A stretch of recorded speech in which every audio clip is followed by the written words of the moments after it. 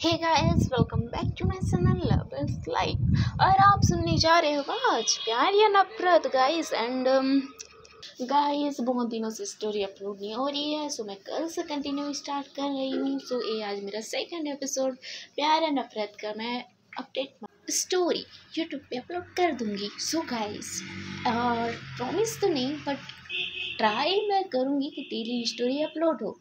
So guys चलिए हम इस स्टोरी की तरफ़ पढ़ते हैं। लेकिन फ़र्स्ट ऑफ़ ऑल हम चलते हैं प्रीवियस पार्ट की ओर। क्योंकि यार माइंड से तो चला गया होगा ना स्टोरी में आखिरकार। हुआ क्या है? चलो गाइस कोई ना हम बताते हैं आपको आखिरकार स्टोरी में हुआ क्या था। सो so, स्टोरी के प्रीवियस पार्ट में हुआ कुछ ऐसा था कि हमारी लीसा और आराधना फंस जाते हैं भीगे बारिश में। बारिश में फंस जाते हैं और देन उनकी कार भी क्या हो जाती है? ख़राब हो जाती है। कार के ख़राब होने पे दोनों वहीं भी बैठे रहते हैं। देन जो हमारी लीसा रहती है तो कार ठीक कर लेती है, लेकिन उसकी वजह से उसकी पूरी बॉडी जो है, पानी से हाई पानी से भीगी होती है, जिससे उसका पूरी बॉडी बहुत अच्छे से मतलब निखर रहा होता है।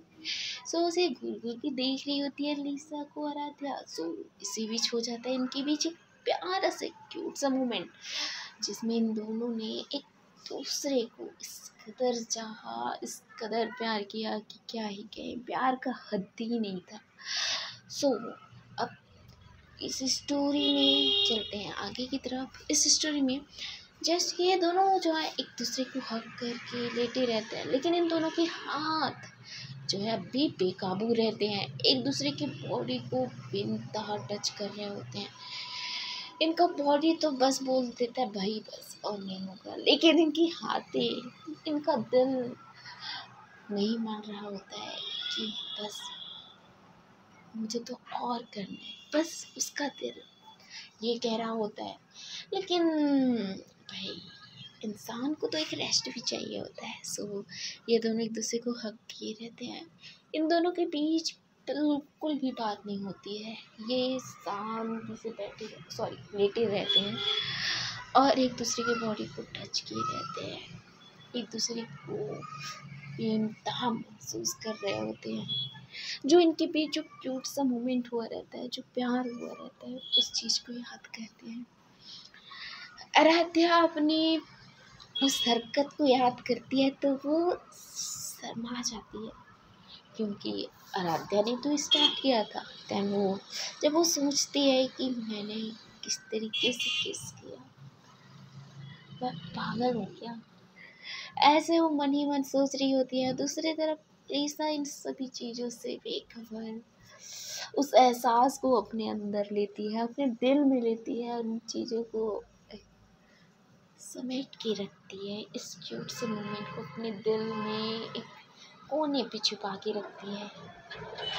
और दूसरी तरफ़ जो हमारी रिमसा होती है सॉरी गाइस मैं नाम भूल गई हूँ सो आप लोग को याद आ जाए तो कमेंट कर दीजिएगा।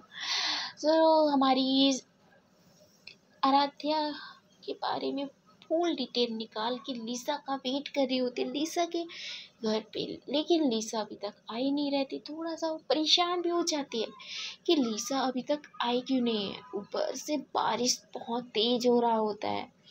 और लीसा के नंबर पे कॉल करती है तो लीसा का नंबर तो बंद बता रहा होता है तो इस चक्कर में उसे बहुत ज़्यादा गुस्सा आता है।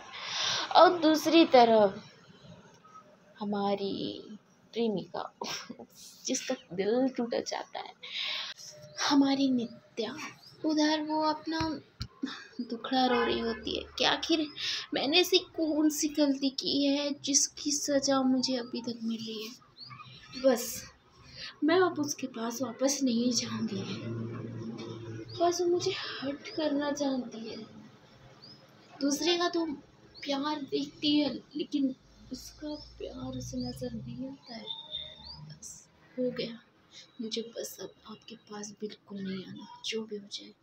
अगर आप मेरे पास आने की कोशिश भी करोगी तो मैं आपके पास नहीं आऊँगी। ऐसे ऐसे बोल के जो नित्या रहती है, वो अपने बेड पे सो जाती है। और अपने ही ख्यालों में खो जाती है। इधर हमारी आराध्या और लीसा, एक दूसरे में गुम निधि अपने में गुम सभी एक दूसरे में इस तरीके से उलझ गए थे कि वो कड़ी सुलझने को तैयार नहीं थी। एक कड़ी सु, सुलझ भी रही थी लेकिन दूसरी कड़ी उलझ रही होती है।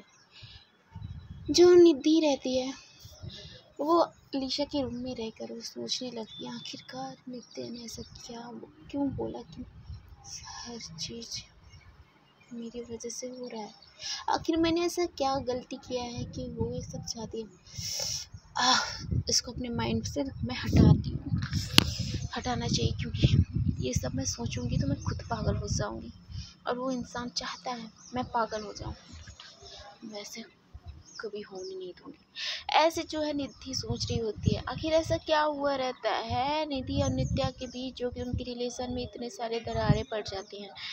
गैस ये स्टोरी आपको समझ समझने के लिए फिर उस पार्ट को सुनना पड़ेगा। देन इन दोनों के बीच का ये रिलेशन इस तरीके से दरार इन दोनों के रिलेशन में इस तरीके से दरार पड़ जाती है कि ये दोनों एक दूसरे को अब समझ ही नहीं पा रहे होते हैं। एक दूसरे की फीलिंग को अब वो समझ नहीं रहे होते हैं कि आखिर क्या रहे वो क्या रहा है। इधर नित्या अपने दुख में, अपने प्यार से दूर होने की वो हर एक नामुमकिन कोशिश कर रही होती है कि वो निधि को समझाए। लेकिन निधि एक ऐसे इंसान रहती है कि उसको कुछ भी समझ नहीं आ रहा होता है।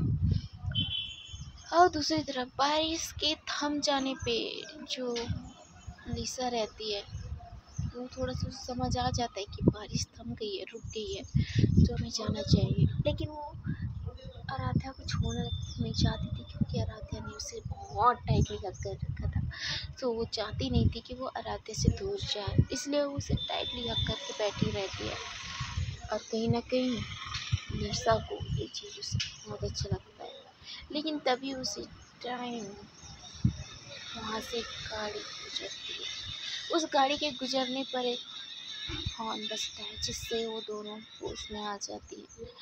तो लीसा जो है थोड़ा सा उसके ऊपर से हटने की कोशिश करती है, लेकिन उठ नहीं पाती है। उसी के ऊपर फिर से गिर जाती है। तो बोलते सॉरी एक्चुअली तो बोलते इट्स ओके तो आराध्या बोलती है आई थिंक हमें चलना चाहिए। बारिश भी थम गई है सो तो आराध्या के बात सुन के लिसा बोलते हैं हाँ हाँ हाँ चलिए चलिए। चलते हैं।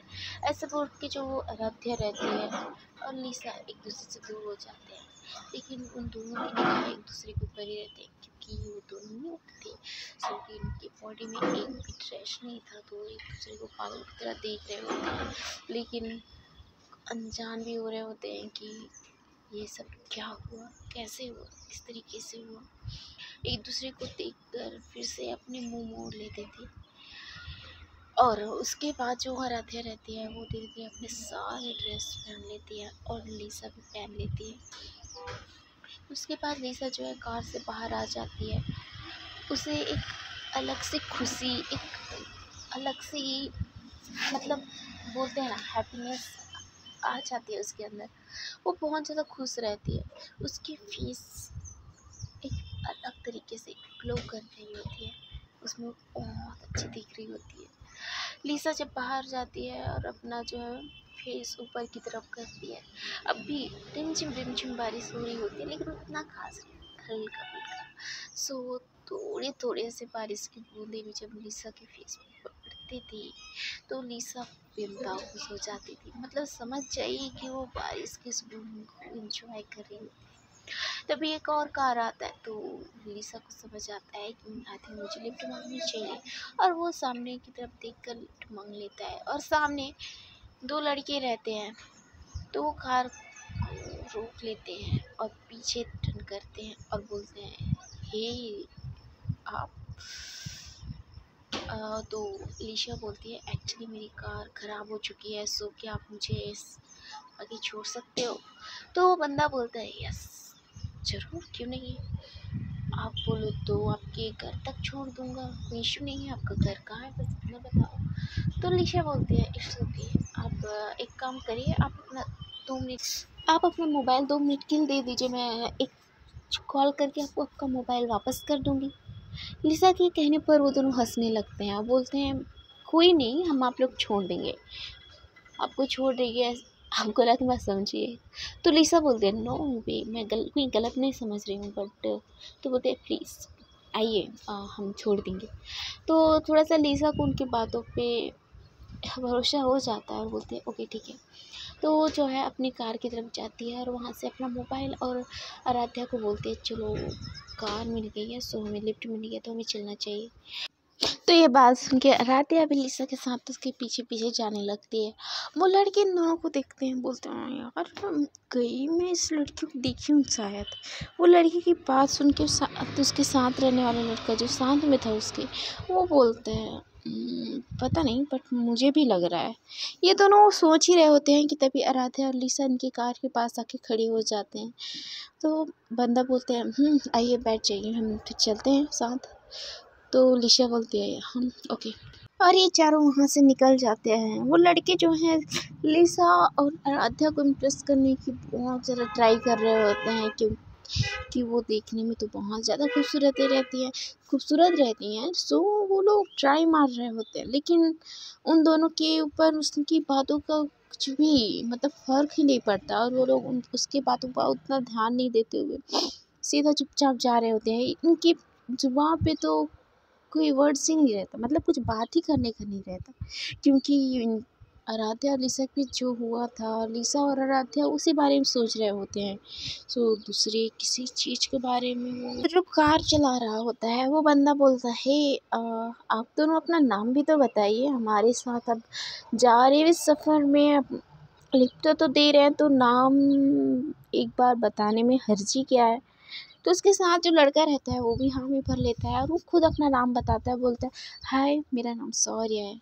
और वो लड़का हँसते हुए उनकी तरफ़ हैंडशेक करता है, लेकिन जो लिसा रहती है, वो एक बार उसके हाथ को देखती है, एक बार उसकी तरफ़ देखती है। तो लड़का समझ जाता है कि हाँ इसका मुँह नहीं है हैंडशेक करने में। सो उससे दूर हो जाता है, बोलता है, ओह, सॉरी आई थिंक आपको पसंद नहीं है हैंडशेक करने में। तो जो लिसा रहती है, वो अपना सर हाँ में हिलाती है। तभी उस, जो ड्राइविंग कर रहा होता है, तभी वो लड़का बोलता है हाय एंड मेरा नाम है समीर। और हाँ हैंडशेक करने में कोई इशू नहीं है हैंडशेक हैंडशेक नहीं करना चाहते हो तो नाम ही बता दो, इसमें क्या आ जाता है? तो लिसा अपना सर हाँ में हिलाती है और अपना नाम बता देती है, मेरा नाम लिशा है। और ये अरात्या है।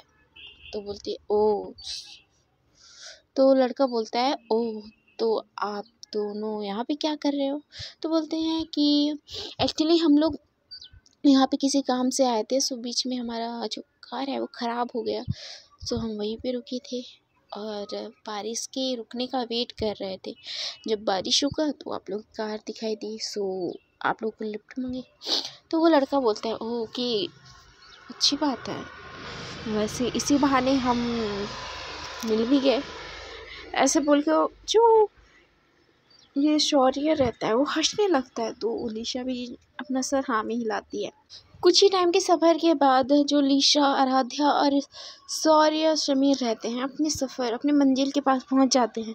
वो एक्चुअली एक बड़ा सा ऑफ़िस था, उसके बाहर पहुँच जाते हैं। तो जो शौर्य रहता है, वो हँसते हुए बोलता है आप लोग इस टाइम ऑफ़िस ऑफ़िस में क्या करोगे? तो लीसा बोलती है एक्चुअली यहाँ पे हमारी कार है सो यहाँ से हम अपना कार ले लेंगे और चले जाएँगे। तो जो सौर्य रहता है वो हँसते हुए बोलता है ओ तो क्या आप लोग इसी ऑफ़िस में काम करते हो? तो आराध्या और लिशा सर में अपना सर हाँ में हिलाते हैं। तो उसके बाद वो बोलते हैं हम्म, मैंने सुना है कि यहाँ के जाने माने ऑफिसों में से एक है। मिस क्या नाम है यार उसका? ऐसे बोल के वो सोचने लगता है तो वो बोलता है ओ सॉरी जो भी हो यार। लिसा उसकी बात सुन ही रही होती है, तभी वो कार से नीचे उतर जाती है और बोलती है थैंक यू सो मच आप लोग का, आप लोगों ने हमें यहाँ पे छोड़ दिया इसके लिए थैंक यू तो वो दोनों हँसते हुए बोलते हैं, कोई प्रॉब्लम नहीं है, वैसे भी किसी की हेल्प करने में हमारा क्या जाता है, कोई लॉस ही नहीं है। वैसे लिसा जी कभी हमसे भी मतलब कभी आप फ्री हो तो हमसे मिलिए बात करिए। अच्छा लगा अच्छा लगेगा अच्छे फ्रेंड भी बन सकते हैं। आ, ऐसे बोल के वो जो अपने पॉकेट से एक कार्ड निकालता है उसकी तरफ़ देते हुए बोलता है ये मेरा कार्ड है और इसमें मेरा नंबर भी है। तो आप जब भी फ्री रहोगे तो एक कॉल कर लेना। वो एक्चुअली वो कार्ड जो है बिज़नेस कार्ड रहता है। जो भी इंसान यहाँ बिज़नेस करता है, उसके पास एक बिज़नेस कार्ड रहता है, जिससे वो किसी को भी ऑफ़र दे सकता है, कुछ भी दे सकता है। सो उसके पास भी एक बिज़नेस कार्ड था। तो लिसा इस चीज़ को एक बार सोचती है, बोलते ओके ठीक है थैंक यू ऐसे बोल के वो आराध्या की तरफ़ दिखती है। आराध्या भी कार से उतर चुकी रहती है। तो वो बंदे जो हैं दोनों, वहाँ से चले जाते हैं। और लिसा और आराध्या वहाँ से कार लेकर, वहाँ से दोनों भी चले जाते हैं। लिसा पहले तो आराध्या को छोड़ देती है। इस बीच उन दोनों के बीच बिल्कुल बात नहीं रह होती है। एकदम, दोनों के बीच एकदम साइलेंट मतलब एकदम सन्नाटा जैसे कोई अंधेरी रात में सभी सो जाते हैं ना और सन्नाटा रहता है। वैसे ही कार में एकदम सन्नाटा था। जब ये आराधा के घर पे पहुँच जाते हैं तो आराधा को वहीं पे छोड़ने के बाद लीसा जो है अपने घर की तरफ़ बढ़ जाती है। अपने घर में जाती है और कार को रखती है और उसके फेस पे अचानक से एक स्माइल आती है और स्माइल कर ही रही होती है तभी उसकी मैट पूछती है, क्या हुआ मैम? इतना स्माइल तो वो बोलती है, नहीं, कुछ नहीं, क्यों? स्माइल नहीं कर सकती क्या? ऐसे थोड़ा वो गुस्से से बोलती है। तो वो बोलती है, नो मैम एक्चुअली आप इतने टाइम के बाद स्माइल कर रहे हो, वो भी ऐसी सो जस्ट तो बोलते ओके ओके ओके। मेरे लिए कॉपी बनाओ और मेरे रूम पे ला के छोड़ दो। तो मैं बोलती है एक्चुअली मैम वो निधि मैम आई हैं आपसे मिलने के लिए। तो ये चीज़ वो स्लो में बोलते हैं, लेकिन लिशा सुन लेती है, बोलती है, क्या निधि मुझसे मिलने? कब कब की आई है?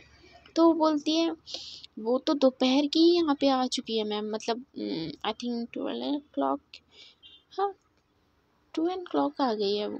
तो बोलते तो यहाँ पे? तो बोलते हाँ वो बहुत ज़्यादा गुस्से में भी थी, आपके पास बहुत बार कॉल भी मिलाया, बट आपका कॉल सॉरी, आपका मोबाइल तो बंद बता रहा था।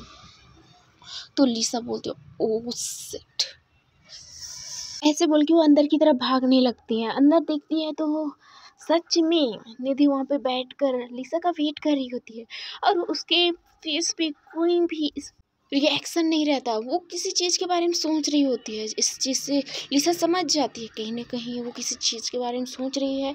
इसलिए वो इतना ज़्यादा चुप है और मैं आई इसका भी उसको बिल्कुल भी पता नहीं चला। ऐसे बोल के लीसा जो है चुपचाप निधि के पास चली जाती है और उसके शोल्डर पे हाथ रखती है। शोल्डर पे हाथ रखते ही जो निधि रहती है, वो होश में आ जाती है। वो बोलती है लिशा तुम इतनी लेट कहाँ थी? तो लिसा बोलती है, वो एक्चुअली मैं बाहर थी आराध्या के साथ, किसी काम से गए थे। तो काम फिनिश हुआ हम आ रहे थे, लेकिन बारिश हो रही थी ना, इसलिए हम फंस गए थे। मेरी कार भी ख़राब हो गई थी। सो मैं ऑफ़िस गई, ऑफ़िस के बाद वहाँ से कार ली और चली आई। तो लीसा इतना बोल के निधि को पूछती है, क्यों कोई प्रॉब्लम हुई है क्या? बोलो। तो निधि ईशा को हक करते हुए बोलती है, मैं तुम्हें कुछ बताना चाहती हूँ बहुत ज़्यादा इम्पोर्टेंट है। तो लीसा बोलते हैं हाँ बोलो।